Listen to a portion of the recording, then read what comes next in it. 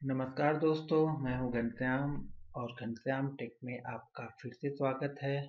अगर अभी तक आपने मेरे चैनल को सब्सक्राइब नहीं किया है तो प्लीज़ सब्सक्राइब कीजिए।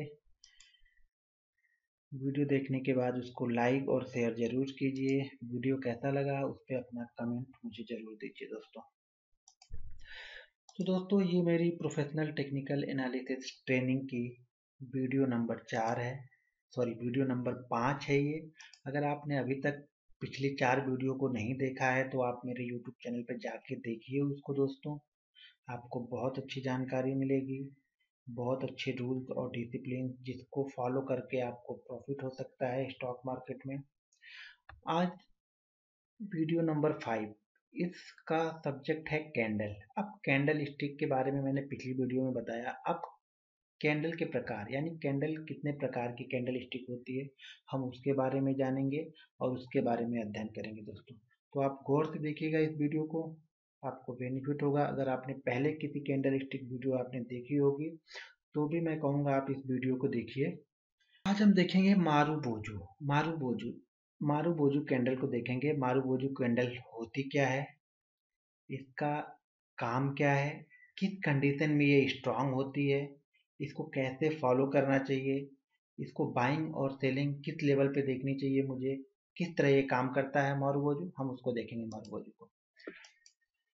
देखिए मारू बाजू मारू बाजू दो प्रकार की होती है। एक बुलिस मारू बाजू और एक बेरिस मारू बाजू अब देखिए मारू बाजू मारू बाजू का जापानी में अर्थ होता है गंजा सर। यानी गंजा सर इसके ऊपर अब कुछ नहीं चलेगा, अब ये ऊपर ही चले तो मारूबोजू बुलिस मारूबोजू और बेरिस मारूबोजू मारूबोजू का मतलब ये हो गया कि जैसे स्टॉक लंबे डाउन ट्रेंड में था।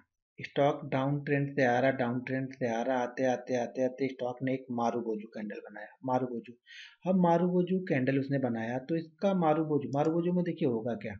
इसका क्लोज और हाई सेम होगा। और लो और ओपन सो सेम होगा। यानी स्टॉक जहाँ से ओपन हुआ, वही उसने लो बनाया। यानी दिन में उसके निचले स्तर को उसने छुआ नहीं और वहाँ से स्टॉक ऊपर ही चलता गया चलता गया चलता गया। मतलब पूरी तरह से स्टॉक को बायर ने कंट्रोल करके रखा हुआ है।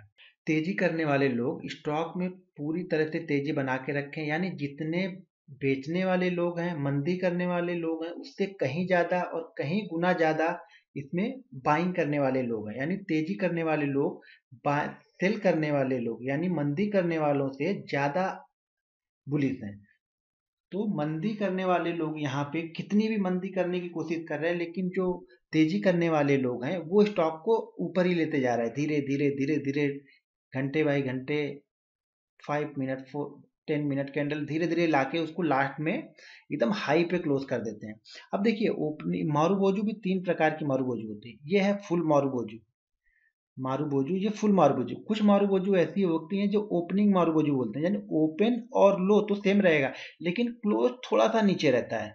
थोड़ा सा नीचे और कुछ मारू बोजू ऐसी होती हैं जिसका क्लोज और हाई ये सेम रहेगा, लेकिन ओपनिंग थोड़ी सी ओपनिंग के बाद थोड़ा एक लो बनेगा नीचे का, उसके बाद मारूबोजू देखिए मारूबोजू का इसमें होता क्या जो इस, ये है फुल मारूबोजू जो क्लोज और हाई तेम दे और नीचे से थोड़ी, थोड़ा नीचे एक लो की डंडी बनाए, यानी एक शेडो बनाए लो के लिए ओपन से लो के बीच का एक शेडो रहे, उसके बाद ऊपर जाके क्लोज दे उसको बोलते हैं क्लोजिंग मारूबोजू और जो नीचे की तरफ़ तेम रहे और ऊपर जाता है, उसको बोलते हैं ओपनिंग मारूबोजू अब ये मारूबोजू इस तरह से मारूबोजू तो शायद आपको दस मारूबोजू में से शायद दो मारूबोजू इस तरह से मिले।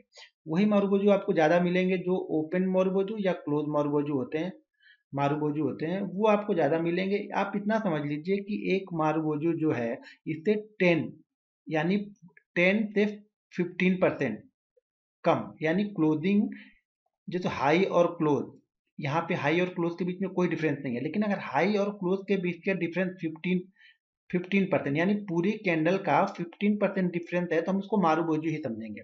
यानी मान लीजिए इस प्राइस ने क्लोज दिया, अभी ये प्राइस पूरी टेन रुपीज़ की है टेन रुपीज़ की। अगर इसने यहाँ क्लोजिंग ना देके यानी टेन रुपीज़ ऊपर क्लोजिंग ना देके देके इसने एट पॉइंट फाइव रुपीज़ भी हाई यानी आज की ओपनिंग से यहाँ पे 8.5 रुपीज़ का भी हाई पे ने क्लोज दिया होता तो हम इसको मारू बोजू ही बोलते हैं।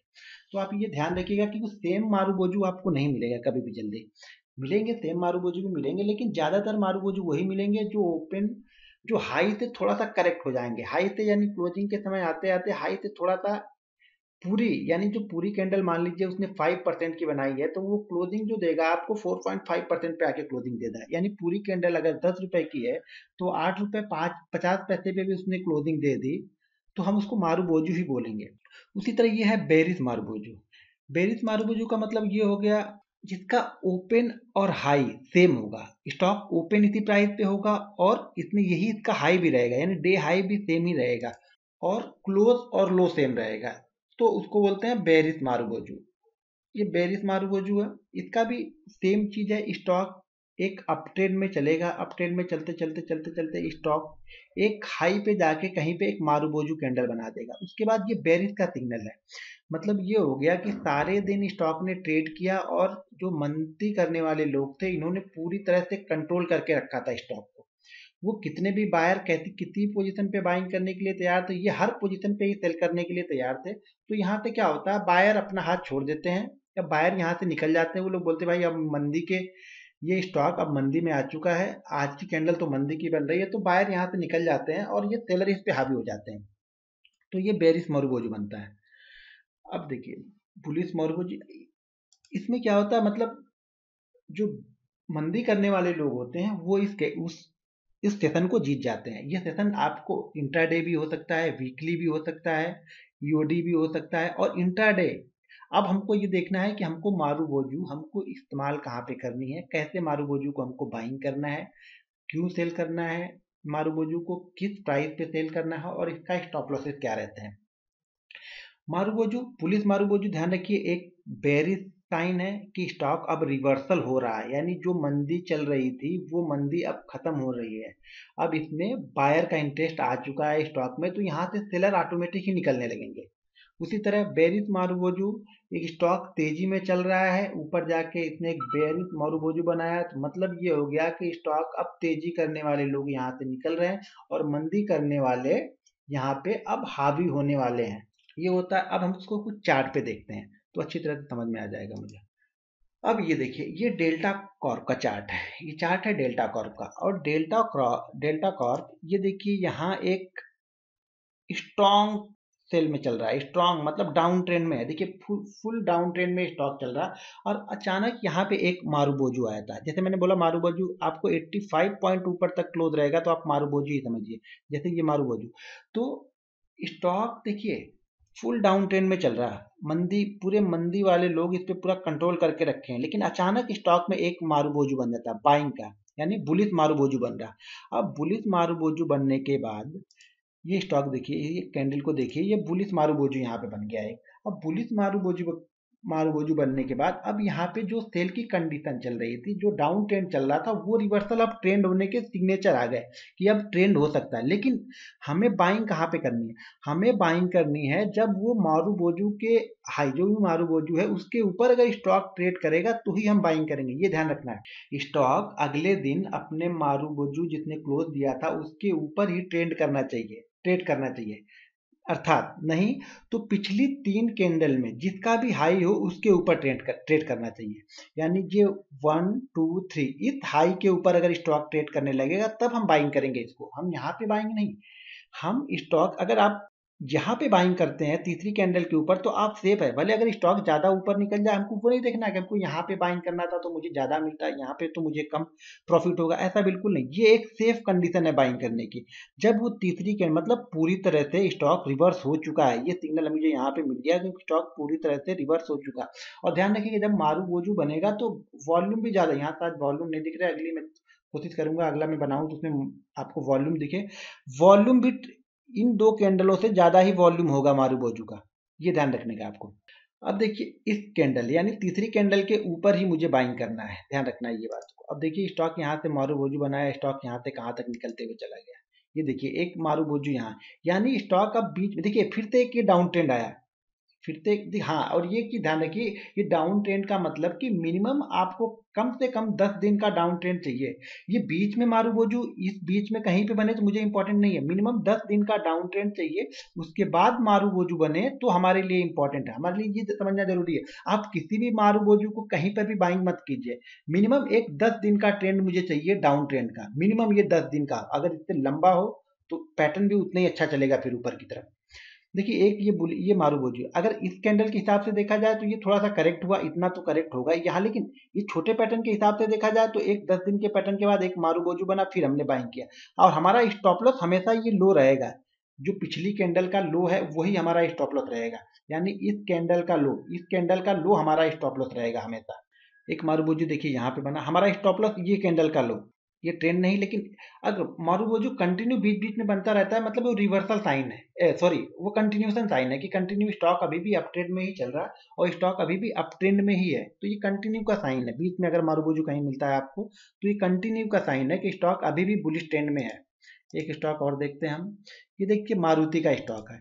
मारुति स्टॉक देखिए, यहाँ पे एक स्ट्रॉन्ग डाउन ट्रेंड में था। अचानक इसमें एक मारू बोझू मिल गया यहाँ पे। अब मारू बोजू मिल गया यहाँ पे। मारू बोजू के बाद हमने क्या बोला कि पिछली तीन कैंडल का जो हाई होगा, उसके ऊपर हम बाइंग करेंगे। इसके ऊपर ट्रेड किया, इसने बाइंग किया। हमारा स्टॉप लॉस ये लो या सेकेंड कैंडल या मारू बोजू का लो जो भी उसमें से जो लो रहेगा, वो हमारा स्टॉप लॉस रहेगा। और स्टॉक ये देखिए, ये मारू बोजू आया। ये देखिए, बीच में फिर से एक मारू बोजू मिला मुझे। फिर देखिए यहाँ पे एक मारू बोजू मतलब ये कंटिन्यूशन साइन है स्टॉक अभी भी बुल ट्रेंड में है मतलब ट्रेंड इसका खत्म नहीं हुआ। इसका मतलब ये हो रहा है कि स्टॉक अभी भी ट्रेंड खत्म नहीं हुआ, इसका बुल ट्रेंड खत्म नहीं हुआ है। अभी कंटिन्यू ट्रेंड में है तो आपको निकलने या प्रॉफिट बुक करने की कोई ज़रूरत नहीं है, कोई जल्दीबाजी नहीं करनी है यहाँ पे। क्योंकि स्टॉक अभी भी कंटिन्यू आपको सिग्नल दे रहा है कि मैं बुल में हूँ। मैं तेज़ी वालों करने, तेज़ी करने वालों के हाथ में ही स्टॉक अभी भी है तो आपको प्रॉफिट बुक करने की वहाँ पे बिल्कुल कि देखिए स्टॉक ने कितना लंबा प्रॉफिट दिया यहाँ पे। अब हो सकता है, देखिए, अब ऐसा नहीं कि हर मारू बोजू चलेगा ही चलेगा। आपको ये ध्यान रखना है कि आपने अगर दस मारू बोजू कहीं से ढूंढ लिए तो उसमें से सात चलेंगे, छह चलेंगे। लेकिन आपको कभी भी ये ध्यान रखना है कि स्टॉप लॉसेस आपके छोटे से रहेंगे, जबकि प्रॉफिट आपको बड़े बड़े मिलेंगे। तो आप, ये इतना अगर आप इस चीज़ों को समझ गए, इस चीज़ों को आपने जज कर लिया तो आप प्रॉफिट ये हमारे हो गए बुलिस मारू बोजू को। अभी देखिए बेरिस मारू बोजू ये देखिए स्टॉक एक अप ट्रेंड में है। ये बैंक निफ्टी का चार्ट है। देखिए स्टॉक एक फुल अप ट्रेंड में चल रहा है। अचानक वहाँ से एक मारूबोजू मिल गया मुझे यहाँ पे। बेरिस मारूबोजू मिला। अब इस बेरिस मारूबोजी ने मारूबोजू मुझे मिला। अब मुझे सेल कहाँ पे करनी है? तीसरी कैंडल का लो यानी इस, इसके लो हमेशा ध्यान रखना है, तीसरी कैंडल एक, दो, तीन, इन तीनों में से जिसका भी लो ज़्यादा हो, उसके नीचे ही हम सेल करेंगे कभी भी। ये हमारा सेल पॉइंट है। इसके नीचे हम सेल करेंगे। हमारा स्टॉप लॉस हमेशा हाई मोरूबोजू का हाई या पिछली कैंडल इसकी होगी, जो भी हाई इस हाई को हम स्टॉप लॉस लगाएँगे और फिर वहाँ से ट्रेड करेंगे। ये देखिए स्टॉक कहाँ तक नीचे आया। मतलब अगर हमारा स्टॉप लॉस होता तो ये होगा, ये स्टॉप लॉस होगा, हमने यहाँ पे सेल किया, हमारा स्टॉप लॉस ये होगा, लेकिन प्रॉफिट देखिए कितना बड़ा मुझे मिला। ऐसे ही हमको प्रॉफिट जब मिलेंगे तब बड़े मिलेंगे स्टॉप लॉस हमेशा हमारे पास छोटे रहेंगे।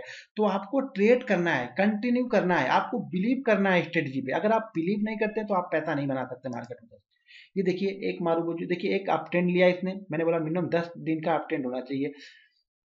अगर आप डे ट्रेडिंग कर रहे हैं तो अगर आप इंट्रा डे ट्रेडिंग कर रहे हैं तो मिनिमम फाइव मिनट कैंडल यानी एक घंटे का ट्रेंड ऐसा डाउन ट्रेंड में होना चाहिए। उसके बाद आप उसको बाइंग के लिए यूज़ मारू बोझू मिलता है तो आप उसको बाइंग के लिए यूज़ करते हैं। फाइव मिनट कैंडल पे मिनिमम दस कैंडल ऐसी बननी चाहिए।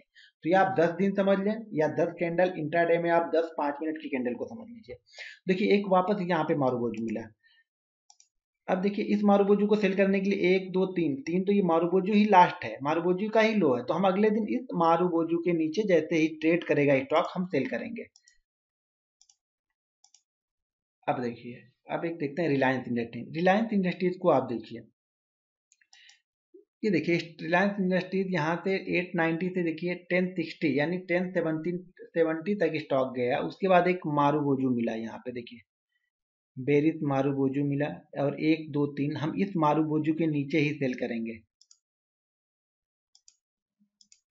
ये हमारा सेल पॉइंट हो गया। हम यहाँ पे हमारी पोजीशन, हम अपनी सेल की पोजीशन बनाएँगे इस कैंडल के नीचे, यहाँ पे। अब इस कैंडल के नीचे, यानी इस ग्रीन कैंडल पे हमने सेल की पोजीशन बना ली है ऑलरेडी और ये हमारा स्टॉप लॉस ये हाई का रहेगा कभी अब देखिए स्टॉक ने यहाँ से गिरना स्टार्ट किया। स्टॉक गिरना टेन फोर्टी से स्टॉक नीचे नीचे आते आते नाइन ट्वेंटी तक आया नहीं स्टॉक नीचे। तो आपको बिलीव करना है स्ट्रेटजी पे। अगर आपने बिलीव नहीं किया तो आपका मार्केट में पैसा नहीं बनेगा दोस्तों। प्लीज़ मेरे चैनल को सब्सक्राइब कीजिए दोस्तों। मैं बहुत अच्छे अच्छे वीडियो बनाने वाला हूँ। बहुत अच्छी जानकारी आपको दूँगा, इसलिए मेरे चैनल को आप सब्सक्राइब कीजिए। Thank you for watching